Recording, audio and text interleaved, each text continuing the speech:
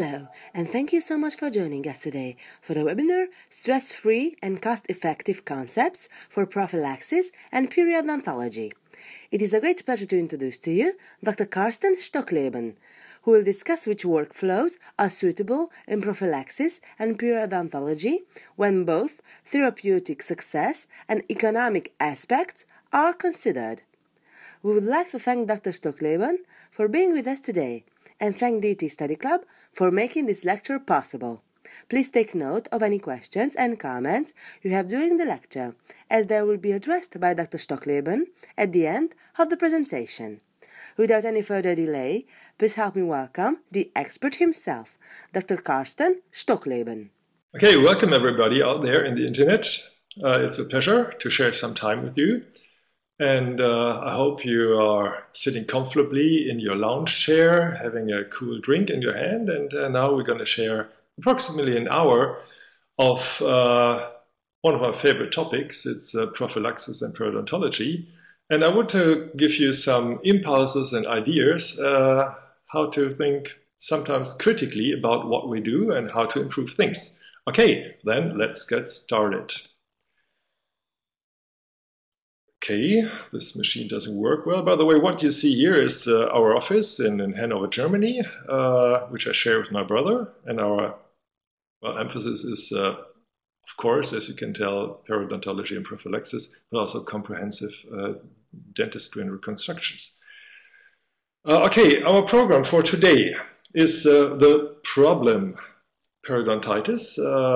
that's highly neglected in dentistry, not only in, in Germany, uh, but uh, globally. Uh, we've got to talk about diagnostics, and 3D diagnostics can be an interesting point in periodontal treatment planning. We're going to talk about concepts and uh, delegation uh, because it's very hard to do uh, things just on our own. Uh, and of course, we've got to talk about efficiency. Uh, what can we do to be faster, better, more economical in prophylaxis and in perio therapy? And then we've got to talk a little bit about money, of course, because nothing on earth is free. There are no free meal tickets. Uh, and this is something we tend to forget in dentistry. Uh, so let's talk about the problem perio. Okay, uh, you might know uh, this chart. Uh, it's the pathogenesis of periodontitis based on the research of Page and Kornman from 97. And um, the basic problem is that we've got on the left-hand side the dental biofilm which is uh, part of this huge uh, human uh, microbiome. Most uh, bugs uh, are our friends, uh, but some of them are, really nasty. They are pathogenic and they want to virtually kill its host. So if we look at the biofilm in conjunction with the, the mucosa and the gingiva, especially uh, in the proximal region, uh, we're going to see inflammation if we don't get rid of uh, this biofilm. The biofilm develops, uh, it's uh, getting mature, uh, which means that after 8 to 10 weeks of maturation, the mean bugs, pathogens, will take command. And what happens? In the end, uh, there's a war going on between the biofilm, which uh, attacks with antigens and virulence factors, and the immune system reacts, defends by sending antibodies and uh, neutrophils. And uh, we see the inflammation in dentistry, which is quite easy because we've got a nicely accessible um, field of view. Uh, some other medical specialties uh, have got a much harder time uh, assessing uh, their points of interest. So the inflammation shows typically by bleeding and swelling. Uh, unfortunately, there's hardly any pain, which would be helpful in uh, getting the patient involved and uh, getting his compliance. Okay, the inflammation produces cytokines and metalloproteinases. Uh, they're going to distract uh, the soft and hard tissue, basically, and this is both arranged and uh, yeah, shows variation by risk factors. One is uh, genetics, which can easily check uh, the family history. And the other ones are easy to check as well, because it's first it's smoking, second is uh, bone pathology, uh, stress, which will reduce, uh, reduce uh, the immune uh, system, obesity, so being overweight is a big risk factor in developing periodontitis. And uh, diabetes mellitus, uh, because uh, that disease and periodontitis show very similar patterns in their um, way of, of uh, building up and uh, starting, and how they both work together nicely. Okay, in the end, you've got a change in the connective tissue and in the bone metabolism the bone will uh, retreat, the pocket will build up, get deeper, and this is a great hideaway in the end for uh, the dental biofilm, which develops nicely there and will reinfect other regions of the oral cavity. So in the end, it goes back then to the left-hand side, to the biofilm, to the microflora, because uh, the biofilm will have better hideaways and better places to develop. And until about uh, 20 years ago, we just saw this as an isolated problem. But uh, 20 years ago, uh, dentistry slowly uh, discovered that uh, there's more in periodontal disease and destruction than losing teeth. But uh, in Germany, every couple of years, there are big studies going on thousands of participants. Um, and uh, our problem is that uh, we see an increase in periodontal uh, disease in our population, and this with age. And uh, even though this uh, chart is in German, I want to show you one thing. Uh, with age, periodontal destruction is getting worse, which is very easy to understand because it's time plus bacteria. Uh, and uh, what we see starting between 40 and 50 years of age in our patients is uh, recession. And there's one crucial point in understanding periodontal disease. We've got the C junction uh, as the major measuring point for uh, looking at uh, attachment loss.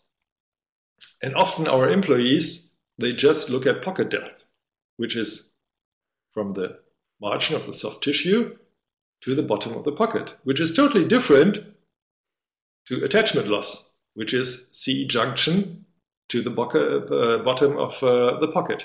So this includes recession plus um, the uh, pocket depth. And this number is interesting for looking at periodontal disease and the severity and the prognosis, of course. And uh, this chart uh, shows that if you're between 35 and 44 years old, uh, in our German population, we've got about 62% of our population with severe periodontal disease, which is defined attachment loss 5 millimeters or more.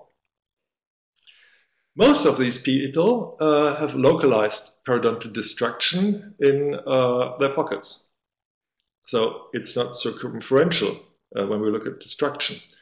Uh, so it's about 49% uh, of them have uh, just isolated destruction in the pocket. and only 13% have generalized the problem.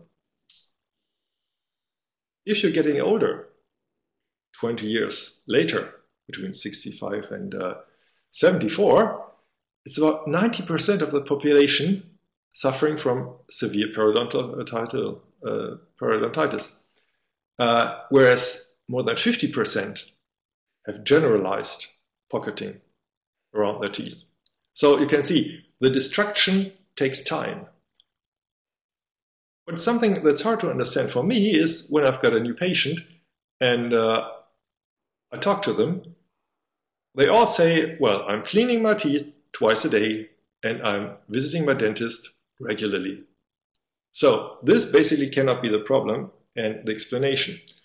Uh, my doubt is that uh, we as dentists tend to look at caries and cariogenic destruction because this is where money for construction comes from. And uh, this is an old historic uh, problem for us in dentistry. Uh, and the emphasis in education at university and also at reimbursement uh, is mainly on uh, destruction, not on periodontal disease. So, but looking at numbers and to understand the problem with periodontal disease is uh, the demographic change. If we look at a chart from 2012 uh, and the more reddish colors uh, show that uh, there is uh, an age, a group of uh, people in a society, in a country, 60 years or older, and that group counts for 30% or more. So nowadays you look at Japan, Scandinavia, Germany, Italy, Greece. Uh, so we've got quite an old uh, general population. But what's going to happen in the rest of the world in the next years? Well, looking at 2050, you see red mostly all over the place. The only place where we're going to see a majority of young people in a society will be Africa.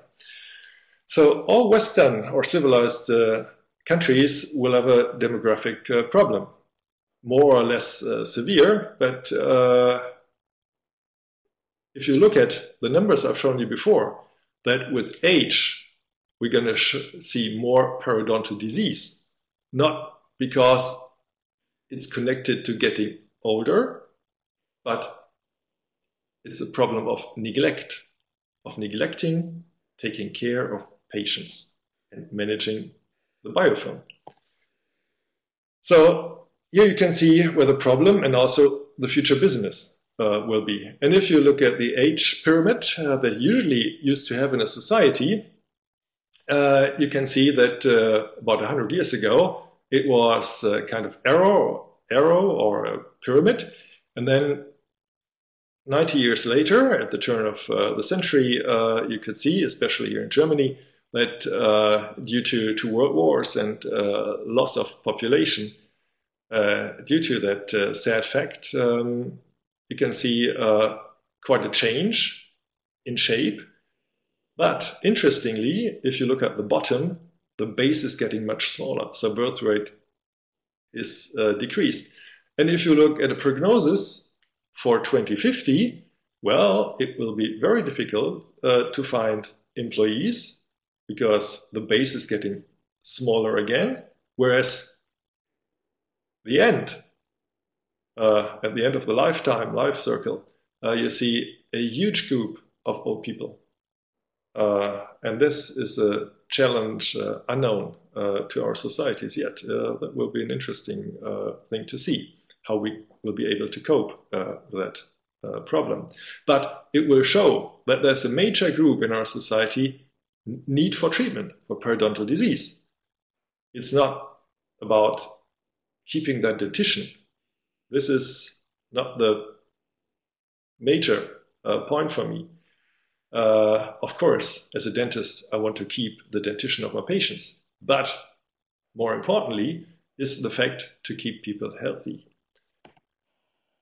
So, reality today is in Germany, with a population of about 82 million people. We've got 23 million people with moderate or severe cases uh, of periodontal infection disease in the age group between 35 and 74 years old.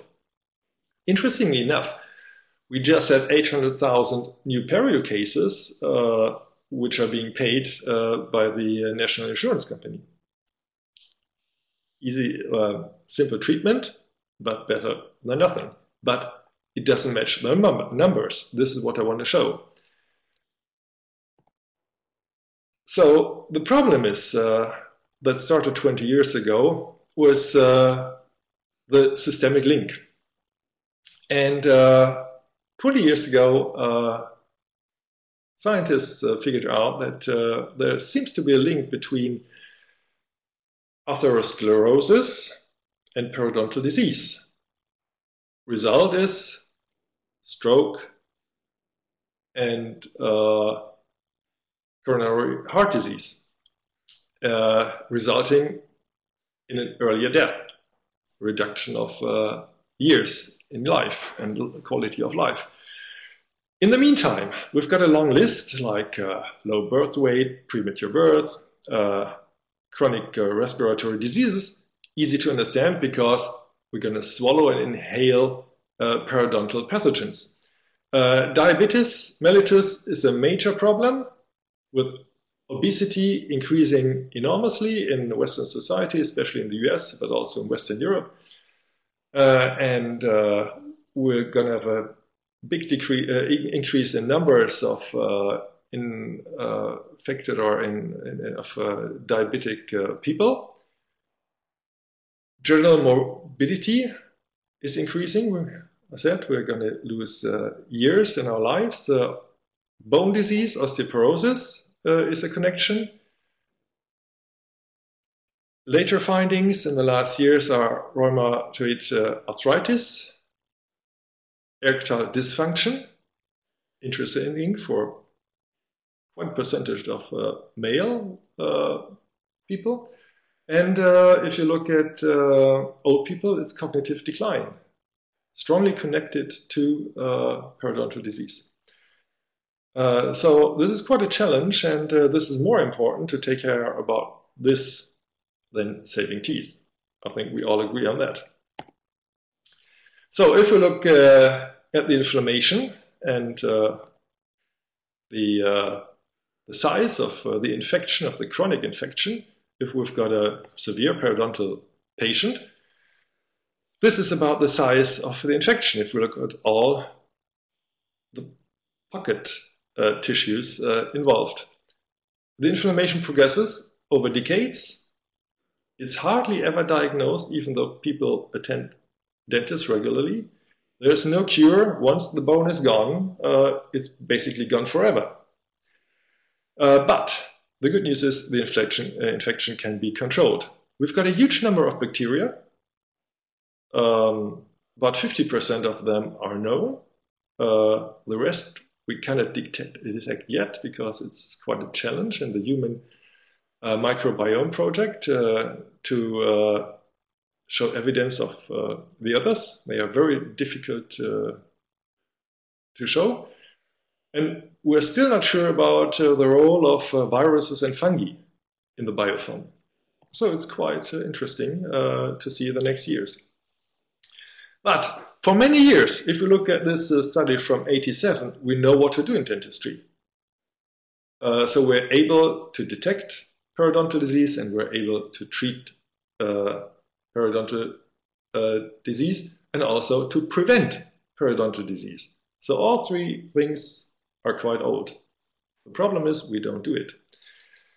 Uh, and Axelsson uh, showed in Sweden quite clearly uh, that over a span of 15 years, uh, where he uh, had his patients in a strict uh, maintenance protocol, that those who attended the program, they didn't lose any attachment. They even gained 0.2 millimeters over 15 years. But those who were in the control and didn't take part and didn't show compliance, they lost about 1.4 millimeters. That's about 0.1 millimeter per year in uh, attachment. So this is a clear sign of uh, the influence of bacteria and inflammation in conjunction with the bone and uh, soft tissue. And also, since uh, is, is very engaged in uh, this topic, uh, and he showed us a lot in the past, uh, some some basic understanding of uh, the problem. He had a look at uh, his population or at his study group 30 years later, and he could show that the incidence of caries and periodontal disease, as well as tooth mortality in the subject sample in this group, was very small. So we know for many years how to do things. We just have to do it. So talking about diagnostics, which is the first step of uh, getting involved. Well, we've got to diagnose periodontal disease, which is easy. What do we need? Basically, just a periodontal probe and an open eye and an open mind. We just have to know where to look at. And with that knowledge and some data, we're able to manage, so to fine tune uh, the system, prophylaxis and also periodontal disease and, and periodontal uh, therapy, because both um, things belong together. You cannot perform good periodontal treatment if you don't have a really good prophylaxis system. So both takes effort, uh, and, and uh, having a good prophylaxis system is hard work. And it's not hard work only starting it and getting it defined and integrated into your office, but also keeping it running. It needs constant input, motivation for your team, for yourself, and of course for your patients. And you need concepts, so how to do things with each group uh, that you're dealing with. So if we're talking about diagnostics, what are the points of interest? Bleeding and probing, very important. Attachment loss, very important to know whether you've got a light, moderate, or severe case. Pocket depth, yes, but not as important as attachment loss. Mobility, yes, important to look at the prognosis. But interestingly, the prognosis can be changed depending on the compliance of the patient and the quality of your program. You need x-rays to have a look at the bone and you've got to check compliance. Uh, compliance is crucial. If a patient doesn't cooperate, you cannot win. You can do anything. Uh, it's just a waste of time, money, and effort. Uh, so basically, you've got one third of the population. They are quite easy uh, to access, and uh, they're going to show quite good compliance. Second third is hard work, but you can be successful third, third or last third, which is the lower end usually of society, um, very difficult. And uh, what kind of um, toys do we have and do we use? Uh, of course, you can use the periodontal probe uh, to feel what's in the pocket and uh, you can do things better. Uh, since this uh, seminar is uh, sponsored by KaVo. Of course, I would like to share some products uh, with you. And this is one uh, toy we're using for years, uh, which is the Diagnodent uh, Paro. Uh, there's a crystal tip, which is very fragile, unfortunately, but with that tip, you just go into the pocket and with laser fluorescency, you can measure and get a signal whether you've removed all the debris or not. So it's easy to uh, evaluate the quality of your work, and especially if you've got deeper pockets where it's quite difficult if uh, you don't open it up surgically uh, to, to remove all uh, the calculus. And then you can check and re-enter. Very smart and it's pain-free. It's uh, very nice to show motivationally for the patient. And then uh, basically diagnostics, we've got three things. We've got the clinical diagnostics, the probe, and the eye, very important. Second, X-ray. And then we've got the CBCT in the last years, which is quite a gain. And when we started many years ago with the CBCT, uh, we thought, well, is it a good idea to uh, get into this technology, not only for implant planning and surgical procedures, which I do a lot and I love it, but uh, does it help in evaluation processes and uh, getting an idea of the prognosis of single teeth or groups of teeth uh, in periodontal, uh, periodontally um, affected patients? And it really does help the CBCT is something I don't want to miss. Of course, we've got a KaVo CBCT in our office. Uh, and uh, it shows me quite nicely uh, the bony destruction, the furcations. Uh, I can plan my surgical access uh, if I go into uh, periodontal surgery and augmentation procedures. And it shows me very nicely the prognosis, which is helpful then in treatment planning when we go into um, let's say, more sophisticated uh, prosthodontics. And if you look at this case, for example, uh, no mobility in these teeth, very good compliance uh, in this patient, uh, and we've got a major loss of bone, but still can see things are stable. I didn't have to do any surgical procedures, uh, and these teeth lasted for close to 20 years. Uh, until the patient finally passed away. And this is a case uh, that I planned for surgery and uh, where I performed uh, augmentative uh, surgery. Uh, and uh, you can see the small amount of bone, which looks like there are, it's, it's, basically missing, but there was a very thin layer of bone because it's just it's a result of the thickness of the voxel in the image, uh, and we could uh, perform surgically here uh, very well. And uh, these uh, things are teeth are stable for years. the basic problem with two-dimensional X-ray in diagnostics is that you place the film intraorally. you get your X-ray beam from the outside, and you project a three-dimensional object in two dimensions of the film level. And of course, uh, you cannot see everything clearly because it overlays. Uh, so you miss some sometimes crucial information. Uh, like in this case, uh, where it was quite uh, easy to see that uh, the second molar on the right hand side, which we call 1 7, was periodontally affected heavily and had no prognosis, so we planned for an implant. But uh, when I uh, took my CBCT, the rest looks fairly well, and uh, the patient, uh, and she's somebody from the States, uh, shows good compliance.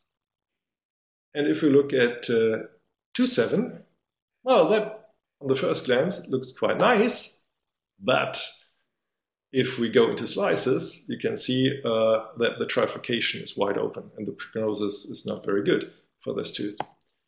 Uh, so that was uh, quite a surprise because clinically uh, it didn't really show. Or for example, if you look at a furcation here, where you've got a, a high bone margin, uh, you need uh, a curved periodontal furcation probe to detect it. Or you use your CBCT to get a general, a general view of the situation, destruction, and the prognosis. Or this case, for example, which was a combined case and interesting to see uh, because uh, it was a periendo uh, problem. In the end, it turned out uh, when I uh, took the tooth out that uh, we had a fracture in the root. my brother is a specialist for endodontics and he performed endodontics here. But if you do good endodontics, you sometimes see these fracture lines and there's no cure for it. Okay, let's talk about concepts and uh, delegation, because uh, the increasing number of periodontal cases in our population, which is getting older, as I've mentioned, it's uh, quite uh, difficult to perform the periodontal maintenance, the recall, on your own as a dentist.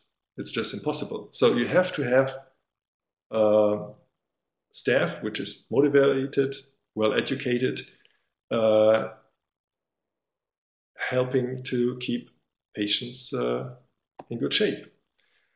In Germany, we've got a problem uh, with delegation because many of my colleagues uh, think, well, our employees are not allowed to get into the pocket and to uh, get rid of the biofilm. But this, which is something I'm going to show later on, is crucial for success.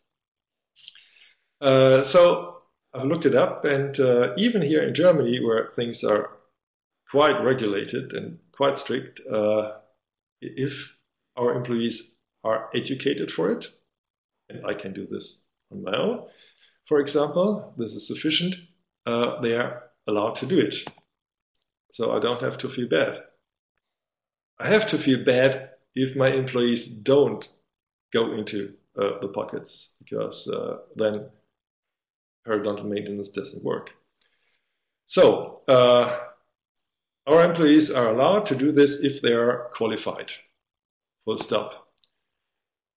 Now, if you look at prophylaxis, um, and this is in, in, German, but don't worry, uh, I just want to show one thing. If we look at prophylaxis, we think, well, it's just, you know, avoiding caries, keeping teeth nice, shiny, and white. And I know uh, this especially from my American uh, colleagues uh, that uh, their patients are big wimps. They want to look good, feel good, don't feel anything when they're on the chair. So sometimes it's quite difficult uh, to get into the pockets, uh, just depending on how you approach them technically. But um, there's more to prophylaxis than just having clean supragingival conditions. Uh, so getting rid of staining and biofilm and so on. So it's carious, of course. It's periodontal disease. Yes, yes, it's the challenge. It's the big thing in prophylaxis. But it's also looking at bruxism, looking at erosion, smelling halitosis and treating it. This is all part of uh, a prophylaxis program, which is comprehensive and is, uh, is the major uh, key in dental success. Dental success for me is defined by keeping the patient healthy for the rest of their life with their own dentition, uh, no removable, removable uh, dentures. So I want to have a high level of comfort and health, of course. And in the end, we should look at changes in, in the soft tissue uh, because uh, the mortality in uh, or carcinomas uh, hasn't, hasn't, hasn't changed in the last 30 to 40 years, which is a nightmare if you look at other specialities. Now we're entering the digital workflow, so we don't just write things on paper. We might uh, have stuff in the computer. Uh, diagnostics is getting more comprehensive and uh, more complex. And the challenging uh, need for um, yeah, documentation is increasing. Uh, on the one hand, for getting better results, if we talk about quality. On the other hand, uh, if we uh, look at state regulations and uh, law. And then we've got this uh, challenge of uh, motivating patients because we uh, compete with um, travel, cars, leisure, fashion, and so on in, in their in patient's attention and in also in their, let's say, um, money flow. And then it's instruction. We've got to re-educate our patients. Okay, everybody is cleaning their teeth. But the question is how efficient do they do it? If it would be efficient and if dental treatment or maintenance would be successful, uh, people would be healthy if they attend the dentist and clean their teeth regularly. Obviously, this doesn't work, this concept. Uh, so the, one of the problems is in the dental office, the other one is in the patient. And of course, you need a lot of uh, equipment and toys uh, and so on. But you have to look at some basics because most of the things uh, you do uh, with the quite a limited number of instruments and things. Only for special needs, uh, you need special toys. So if we look at risk orientation and concepts in periodontal treatment, uh, it's quite easy. If you've got a light perio case, which means attachment loss of one to two millimeters, which is not a lot actually, and we think, oh, patient is healthy. But we've got to use our instruments and our brain, and of course, we've got to know how to measure things. These patients usually uh, are integrated in a program at the beginning when we see a new patient. It's the light perio case, three appointments in our perio department with a, a break of uh, a week in between. And uh, we're going to do three things instruction, diagnostics, and thorough cleaning. Afterwards, now we've got set of data, risk assessment, uh, we've got much better clinical conditions. We're going to see the patient for conservative perio treatment, which is close treatment, fairly easy to do. And then they're going to end up afterwards in a recall system, usually three months. Moderate perio cases, attachment loss three to four millimeters, they're going to have basically the same introductory program. They're to see a conservative uh, periotherapy, which is full mouth treatment. We're to do all four quadrants in one session because it's so easy nowadays uh, with these uh, gentle instruments to perform this without harming the patient and without harming soft or hard tissue. Uh, we're going to use CleanPro powder, and uh, if it's case that's not so compliant, uh, we're going to introduce him to the post-perio uh, program where we see him uh, after the periodontal treatment for four times in a span of a month. So every week he's going to have one appointment where we thoroughly clean the pockets again to just decrease the biofilm load and allowing for better healing. And then we're going to see him for reevaluation after the fourth uh, visit where we're going to get a new and a complete set of, of data. Recall intervals will be 8 to 12 weeks, so 2 to 3 months, depending on how his system reacts, which is easy to see uh, with the data you get at every recall session. Severe perio cases, well, they're more difficult. 5 millimeters attachment loss, same program, but our employees need more time because the pockets are deeper and of course they need more time to clean them thoroughly. Because when I'm going to see the patient for periodontal therapy, uh, I don't want to see a lot of uh, debris anymore. So it's conservative, the treatment. Uh, it's uh, full mouth treatment again. We're going to use CleanPro powder. We're going to use photoactive disinfection, which is very nice uh, and helpful sometimes antibiotics, but not a lot uh, because it's uh, the side effect is, is, quite heavy, and we've got to consider that. Usually, most cases you can manage just uh, with conservative uh, means. These patients all enter the post-perio program because we've got four weeks of uh, healing uh, for the soft tissue, and in this period of time, we go want to have very little amount of biofilm. Recall intervals four to eight weeks for quite a long time, depending on the data. Sometimes they go on to three months after years, but this really depends on the clinical situation and how uh, things develop.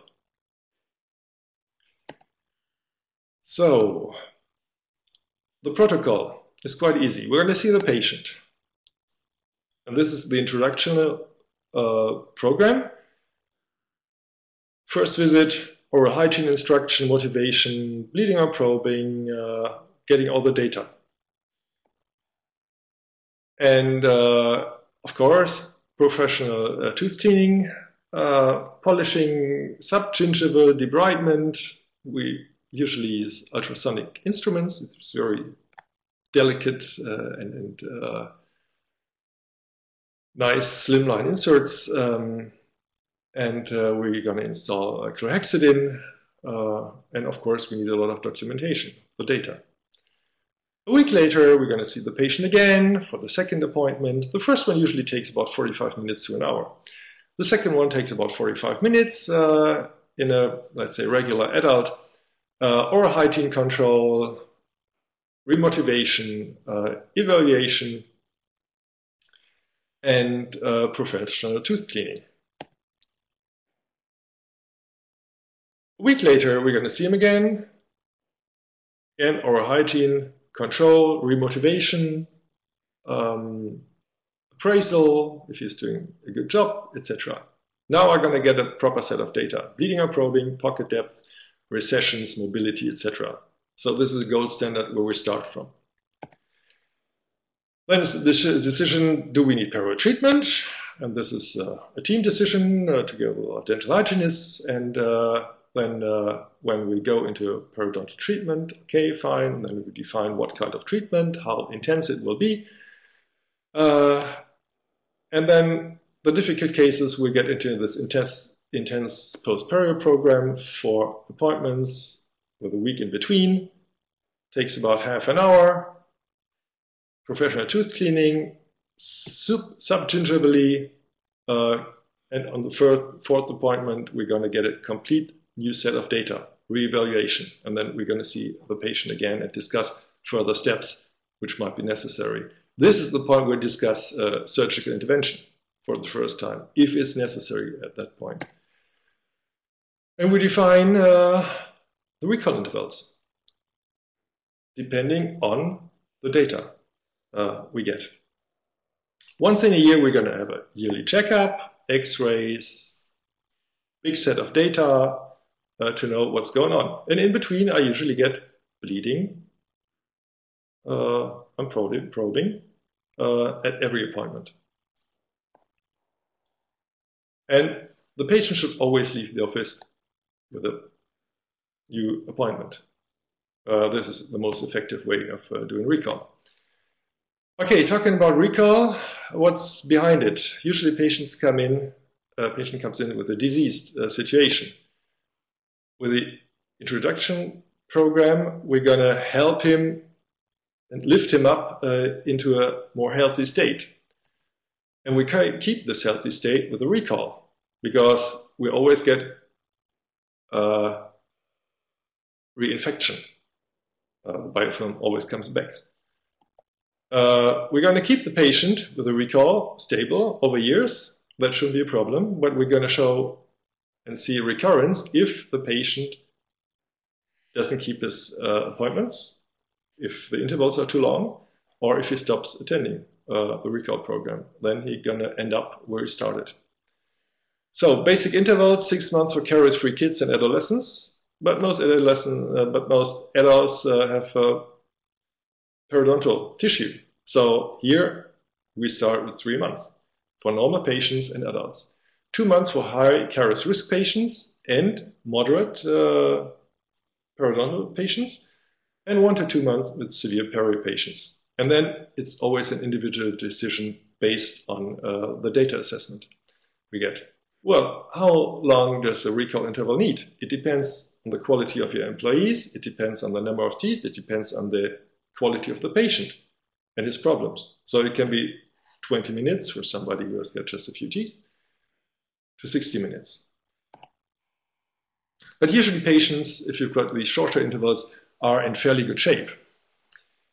Uh, and uh, of course, uh, the American uh, Academy of Periodontology uh, gave some statements for recall, and uh, this is just what we've discovered. Three month intervals for patients who've got a periodontal history is just fine, but it should be modified if things deteriorate, and patients should also go back into active treatment. Uh, so having performed a periodontal therapy doesn't necessarily mean that this is the only one in their life. In some patients, we're going to do this regularly, once a year or every two years, uh, just to keep uh, the patient on a good level. And this is very helpful since we can uh, intervene uh, very gently uh, without any collateral uh, damage.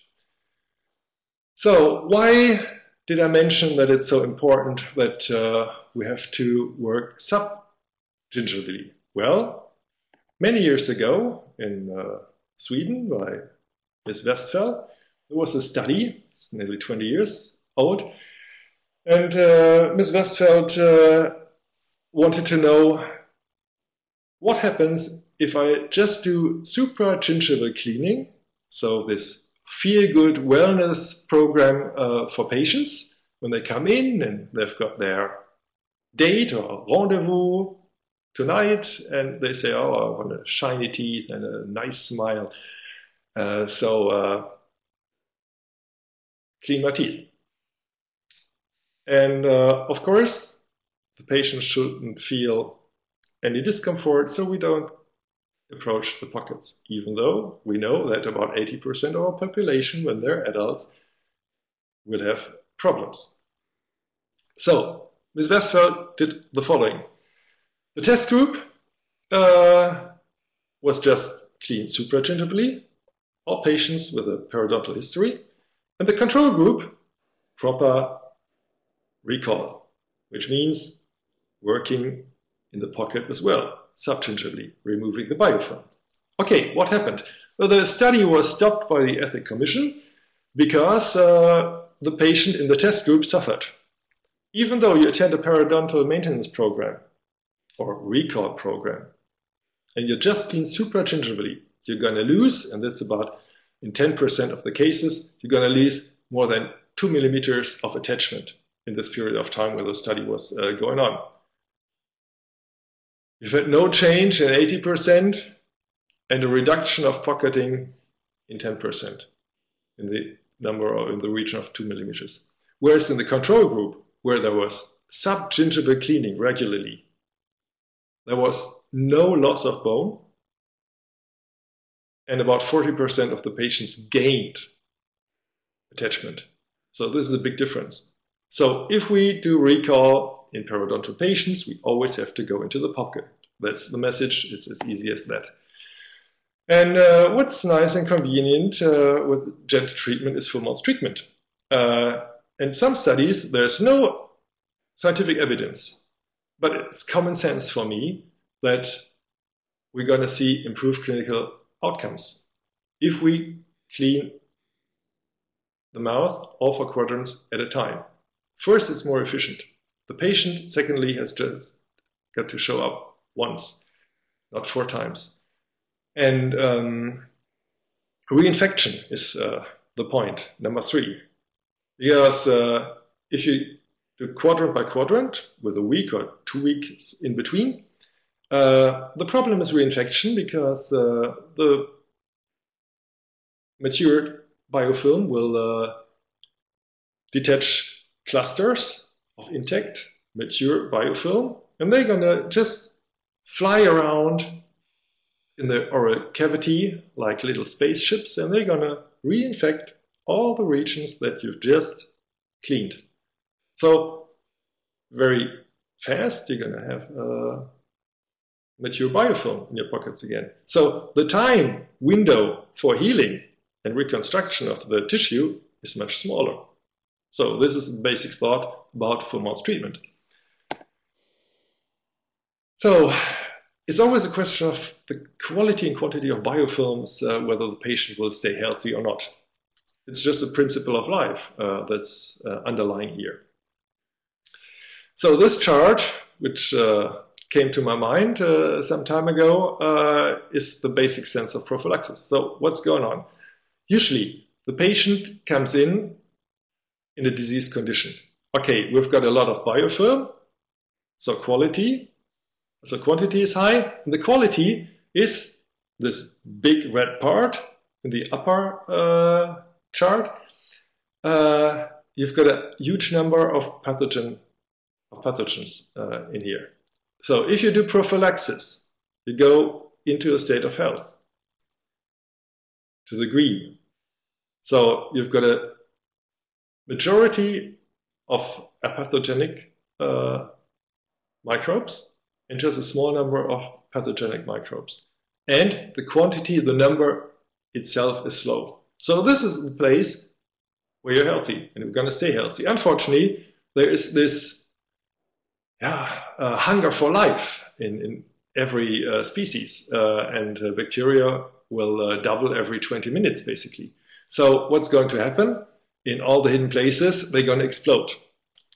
So this is why we intervene after approximately three months, because uh, the dynamic of the biofilm, life, will just come to the point that we have got a, an increase in number, in quantity, and of course a change in quality. So the pathogens will take over again. So this is the, the game uh, we play in, uh, in prophylaxis. It's always cleaning up, biofilm management, reinfection, and vice versa. And we're going to do this all lifelong. So the challenge is to do this in a gentle way and to avoid collateral uh, damage. Uh, things can be quite easy today. Uh, I stopped basically using curettes uh, more than 20 years ago because I uh, could see that uh, with sonic or ultrasonic instruments, you're much more efficient at the learning curve, which is, is faster, especially for your employees. and things should be easy and reliable. Uh, so if you look at the SONICflex uh, air scaler from KaVo uh, that can be attached to any uh, tubing of uh, your unit, it's very easy to use. Uh, you've got a short learning curve and it adapts to the multiflex coupling, so to any tubing you've got with whatever unit you're using. And then another nice uh, thing is uh, the PROPHYflex from uh, KaVo. It's an airflow handy, it's mobile, so you can use it in different uh, operatories. Uh, it uses sodium bicarbonate uh, for supragingival cleaning and glycine, it's a salt, for subgingival cleaning. And especially glycine is highly interesting because it will clean the pocket up to five millimeters easily, and 99% uh, of the bacteria of the biofilm will disappear very easily. And it again adapts to the multiflex coupling, it's reliable uh, technically because if things are complex and don't work, you don't use them. So they've got to be reliable every day. And it's quick and gentle. So now the tendency goes to subgingival cleaning with glycine. Uh, and uh, so KaVo developed this uh, PROPHYflex Perio. You've got to change uh, one of uh, those uh, little screws in, in, inside of the tank. And you've got two inserts. both are very valuable for using the stuff subgingivally. And of course, not to be mixed up uh, in the daily routine, you've got an extra uh, container for the glycine with the writing perio on top, which is you can see on the left-hand side, um, not to be mixed up because you should never use uh, sodium uh, bicarbonate uh. It destroys soft tissue, it destroys uh, the cementum and uh, the dentin. It's very painful and uh, you won't like it, and the patient will dislike you a lot if you do this.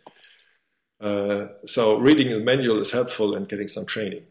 Um, so back to the Profif, uh, to the PROPHYflex uh, Perio, you can either use uh, a little uh, nozzle to go into the pocket and with a sweeping motion go into it and around the pocket to uh, install the glycine and to clean uh, the pocket, but also very efficient uh, to up to five millimeters is just using the regular nozzle uh, and going with a 45 degree angulation into the pocket with the glycine. Very helpful and to just go around the root surface. It takes about five seconds for every side. Highly efficient. Okay, then if we quickly come back to caries, uh, the eye is not very helpful. X-rays are more helpful, uh, especially bite wings uh, in caries detection, but um, there are modern means nowadays like the DiagnoCam for caries diagnostics. Uh, it's a we call DIFOTI. It's uh, fiber optic trans illumination, a double uh, way.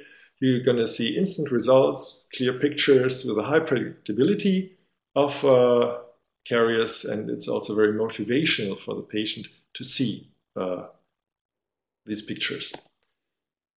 Okay, then talking about uh, money and economics. Uh, many years ago, when I was a student in England, uh, I was told, "Well, you don't, you get what you pay for," and this is basically true uh, in life. If you don't pay for proper, proper prophylaxis and proper proper perio treatment, you won't get quality. It's just impossible because the effort for a good periodontal maintenance, maintenance program is so high, and I know what I'm talking about. Um, it's just costly. But on the other hand, the benefits are great. So it's a win-win situation. And uh, basic thoughts on economics is uh, something we didn't learn in dental school, unfortunately. We didn't learn anything about calculation and, and cost estimates and uh, the value of time and uh, so on.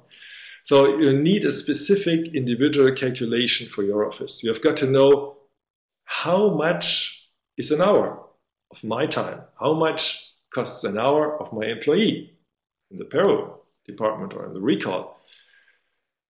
So we've got to define a realistic fee per hour and break this down to usually five minutes, like in the car industry. And this is how you've got to schedule the patients because some patients need 20 minutes, other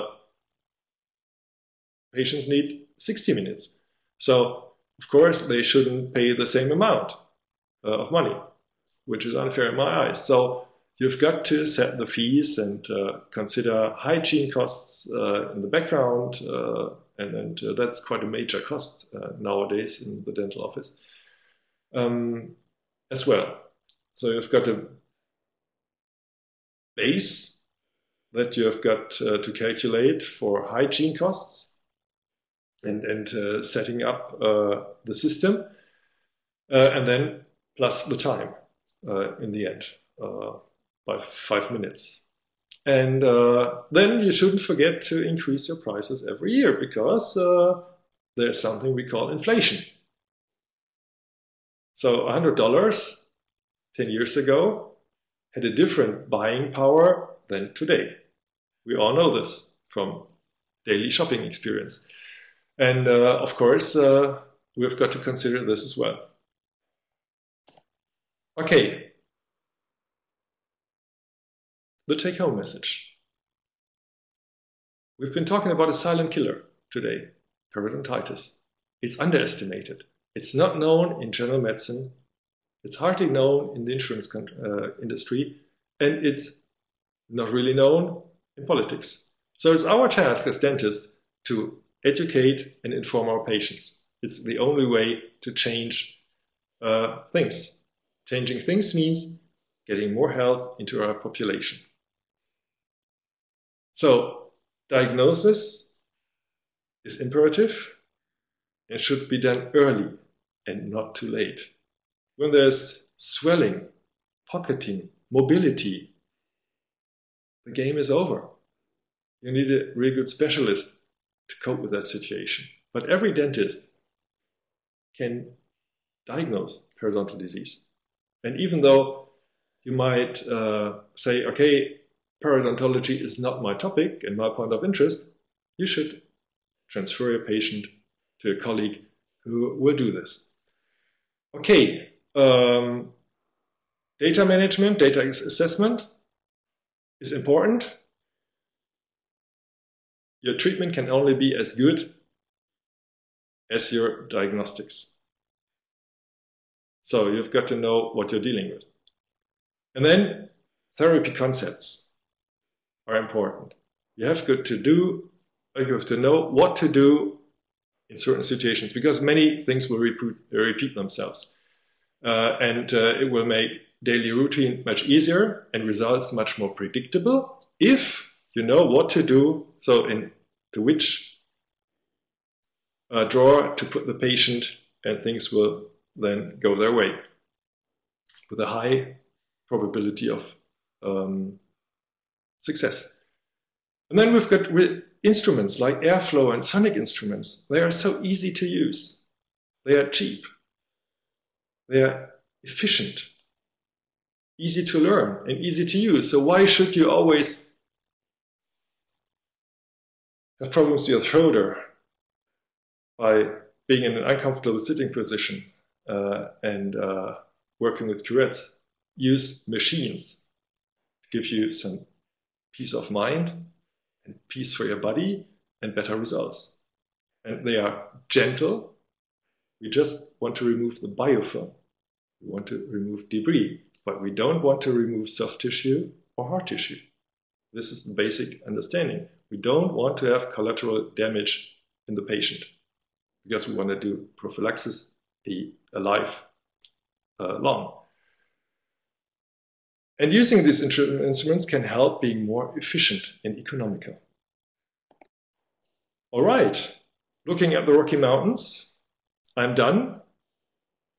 I hope uh, I could give you some ideas and uh, I would be happy if I could uh, just uh, give you some ideas to use tomorrow. Okay, thank you very much. And now I'm going to go to questions and answers. Ah, okay. So, first question. Okay, first question is, do you advocate the use of uh, thermo, uh, chemotherapeutic irrigation of pockets as well as uh, supplemental mouth rinses? Uh, well, when I get this question right, uh, dear Ed, um, yes, uh, I'm a big fan of chlorhexidine as a gel because I think it just stays longer in the pocket. And crucial is just time in, in chemical reactions and pharmaceutical reactions.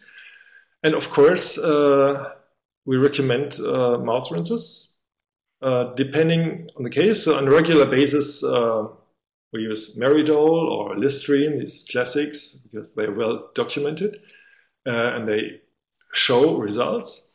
And uh, in acute treatment and in, in, full mouth treatment, for example, in moderate or severe cases, in these um, programs after periodontal therapy, uh, in these four weeks where we're going to see the patients once a, a week, uh, we're going to use chlorhexidine intensively as a rinse.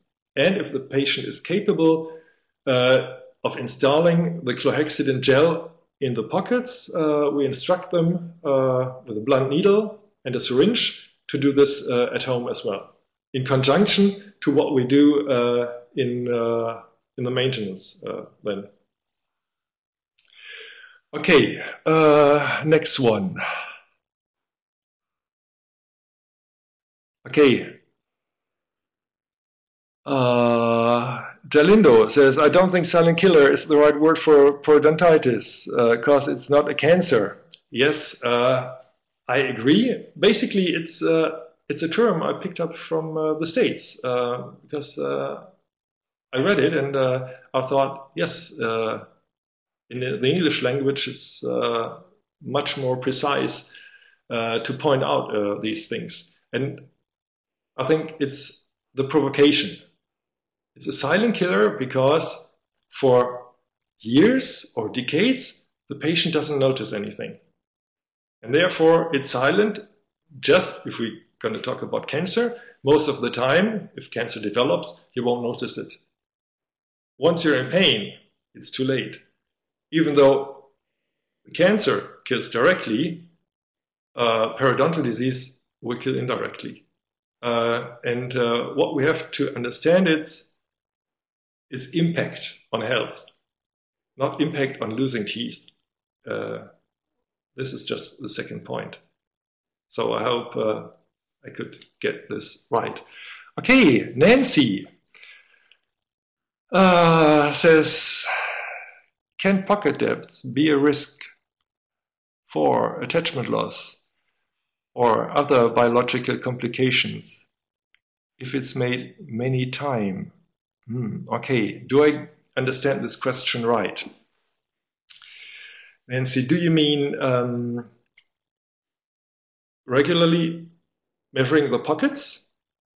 Whether this would be uh, a, a, risk factor for attachment uh, loss? Okay, you just say yes, okay, thank you, then I got it uh, right.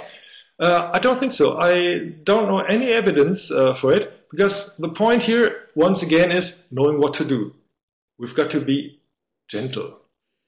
So probing pressure basically is between, uh, I think, something like 30 grams. It's very gentle because especially if you've got an inflamed pocket, for example, you're going to have more pocketing if you're in the first appointment and take a measurement, let's say you're going to measure with a standardized pressure up to five millimeters.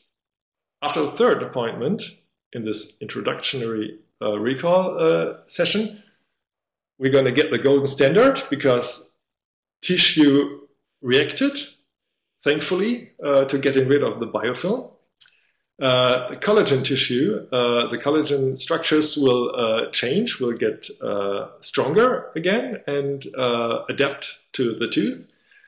And uh, you're going to see something that you go down into your pocket and you might have three, which is a result of two effects. the decrease in the pocket. Decrease by the decrease in swelling. so this is the supragingival pocketing.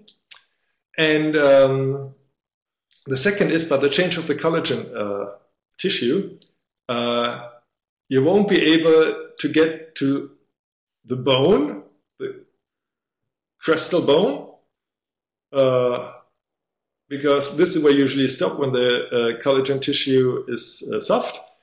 And uh, after healing, you stop before, and this is the bottom of your pocket. So if you've got a condition like this uh, and you're gentle, you won't uh, damage the tissue and you won't find a deterioration of this of the situation. So uh, my experience after more than 20 years of doing this regularly uh, is uh, there's no problem. Okay, I hope this helps. Okay, Perla. What is your opinion about laser use in periodontology? Ah, yes. We've been de dealing with that quite uh, a long time ago. Um, we love toys in our office. It's uh, and there are many great things out there, but not everything that the industry develops is a real benefit for the patient and, and for the office. Not in terms of money and marketing but uh, therapeutic uh, value. So uh, when the people from the laser industry came to see us and said, "Oh, we'd like to place this laser in the office, and you will get it even for free," uh, I looked at it and we played with it, uh, and we said, "Well, thank you very much. Please take it home again. We don't need it." Why did we take this decision? Well, that was quite easy because they said, "Well, doctor, you can." Uh, take uh, the inflamed tissue out of the pocket. But one day I discovered that uh, there is no need to get rid of the inflamed uh, soft tissue in the pocket. It's um, this idea of the curettage we used to have. Uh, I think uh, it's not valuable anymore because if you get rid of the biofilm, the tissue will be nice and healthy again. Uh, and it's so thankful in its reaction uh, if you really do a good job in biofilm management, the reaction is so quick and uh, so good. And uh, if you take out the tissue, you will get shrinkage of the tissue. So we're going to have attachment loss, and uh, because of the whole system will change. So this is why I'm not a friend of, uh, of the laser. But I've got friends who say, oh, I love it, and Carsten, you have to have a laser. Of course, a KaVo uh, laser. He's the best. But um, up to now, nobody could convince me because with the system we've got and uh, which is proven, why should we uh, change it? Ah, okay. Matthias, mutilating disease may be? Eh? I don't understand that question. I'm sorry. Ah. Kekting Chow, what's your opinion about PerioGreen, which use with diode laser activation? Ah, okay. Uh, the term uh, PerioGreen doesn't ring a bell, but I know what you mean. Uh, we've got different terms here in in, uh, in Germany. It's uh, what we call PAD, photo-activated disinfection. I think this is what you're talking about. Uh, we're using that uh, for years. Very helpful because uh, if you use it in a smart manner, if you apply it in a pocket, you can decrease the biofilm by 99%. And uh, that's a perfect mean because it's painless, no side effects, and uh, that's just perfect because you activate the chemistry by light. It comes from dermatology, from uh, skin cancer therapy. And uh, it's very helpful. So if you've got it, yes, use it. Um, especially in the more severe perio uh, patients. But you can only use it if it doesn't bleed. If you've got strong bleeding, the fluid will be just washed out and then it doesn't work. So you've got to do it in the following session, for example after regular cleaning. So, okay, Matthias again, what do you think about probiotics on perio? Ah, great question. Uh, it's coming up. Um, it's um, the research on the human uh, microbiome, uh, and I think it's the right way. I'm not pretty, pretty sure whether um, we've got the right stuff uh, yet, and I'm not sure whether uh, all the substances are available in, in every uh, country. But uh, using probiotics in a concentrated way, uh, like Lactobacillus reuteri, uh, he is proven to be a we say natural um, antibiotic. that's great. You've got to take it regularly over a long period of time, but it's helpful. But uh, if you look uh, and have a chance to look at research on uh, probiotics and of uh, the microbiome, it's highly interesting. And, I think there's a lot of future and, and research uh, in that. And of course, business. And there we've got to be cautious again because we're the guys uh, who advocate it to our patients and we've got to be knowledgeable about it. But we're just at the beginning and it's highly interesting. I think it's the future. And this is why I, knowing about these mechanisms of the biome, um, why I'm more reluctant with antibiotics than I was before. I was always very careful, uh, also when I perform surgery.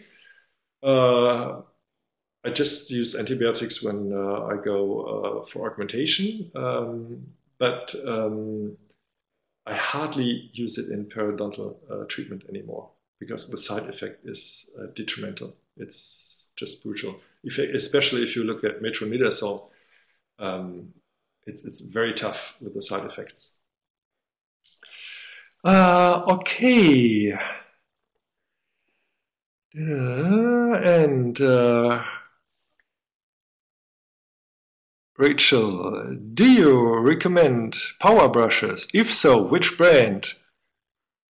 Uh, why that brand? Okay, yes. I'm happy to answer this question.